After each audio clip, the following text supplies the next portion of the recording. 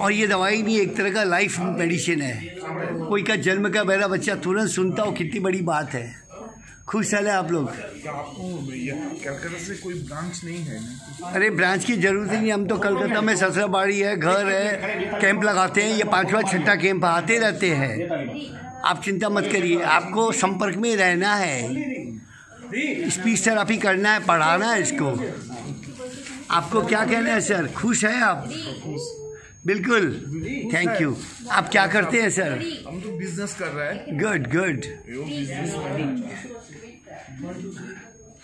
अरे वाह এটা কত আছে জি গোটা বলো টু টু আছে अरे वाह